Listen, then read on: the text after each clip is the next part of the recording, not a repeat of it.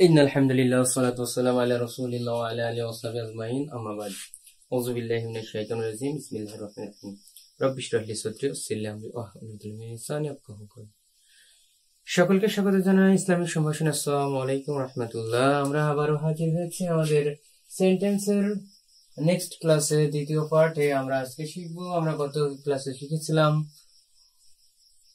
Imperative sentence পর্যন্ত, আজকে imperative operative sentence পর্যন্ত, আজকে আমরা বাকি অংশ শিখব, যেখানে আছে এক্সক্লেমেটরি সেন্টেন্স তো আমি প্রথমে ইংলিশ ডিফিনিশনটা আপনাদেরকে জানিয়ে দিই।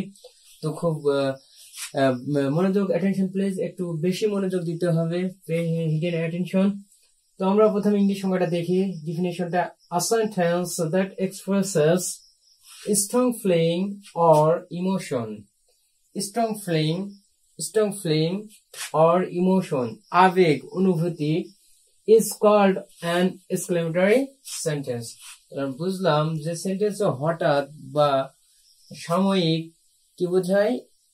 অনুভূতি এবং আবেগ নির্দেশ করে, ব্যক্ত করে, তাকে এক্সক্লেমেটরি সেন্টেন্স বলে। তো আমরা কিছু উদাহরণ দেখে নিই। এই এক্সক্লেমেটরি সেন্টেন্স এর শেষে অবশ্যই একটা এক্সক্লেমেশন চিহ্ন থাকবে। কি থাকবে? এক্সক্লেমেশন চিহ্ন। তো আমরা এই সেন্টেন্সের ভিতরে দেখতে পাচ্ছি, এখানে এক্সক্লেমেশন চিহ্ন আছে।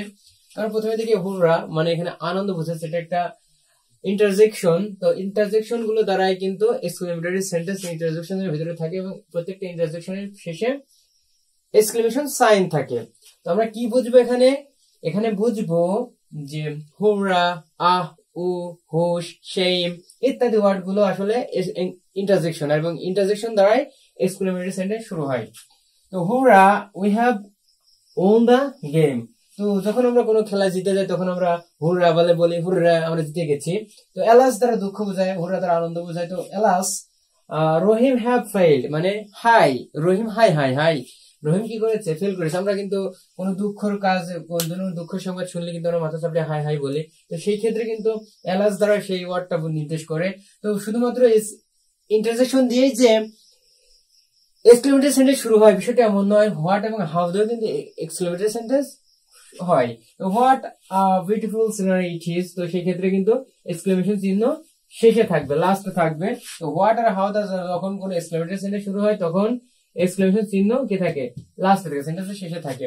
তো what a beautiful scenery it is কি দারুণ সিনারি দৃশ্য, কি সুন্দর দৃশ্য এটা। How nice bird how nice bird how nice bird a song sing তো এখানে বলা হচ্ছে যে, কি সুন্দর পাখি একটা গান করে। তো এখানে কিন্তু মূল ভাবটা আছে, এখানে অক্সিলারি ভার্ব আছে। তো আমরা জানি মূল ভার্ব হোক, অক্সিলারি ভার্ব, ভার্বটা কিন্তু শেষে থাকবে এবং সাবজেক্টটা থাকবে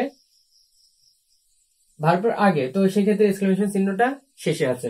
তো আমরা এক্সক্লেমেটরি সেন্টেন্সের কিছু চিহ্ন বা কিছু উদাহরণ দেখে নিলাম। এর পরবর্তীতে আমরা অ্যাসার্টিভ সেন্টেন্সের যে শিখছিলাম অ্যাসার্টিভ সেন্টেন্সের যে দুইটা শ্রেণি বিভাগ আছে, ওই দুইটা শ্রেণি বিভাগ আমরা শিখব। তো এখন আমরা শিখব অ্যাসার্টিভ সেন্টেন্সকে আবার দুই ভাগে ভাগ করা যায়। আমরা সেন্টেন্সের প্রথমে অ্যাসার্টিভ সেন্টেন্স শিখেছিলাম। তো অ্যাসার্টিভ সেন্টেন্সকে আবার দুই ভাগে ভাগ করা যায়, যথা there are two kinds of assertive sentence. They are affirmative sentence, negative sentence. তো অ্যাফার্মেটিভ অ্যান্ড নেগেটিভ সেন্টেন্সের যে ডেফিনেশনটা আছে, সেটা আমরা দেখে আসি ইংলিশে। affirmative sentence a sentence that expresses affirmation statement is called affirmative sentence is called affirmative sentence a double f i r f i r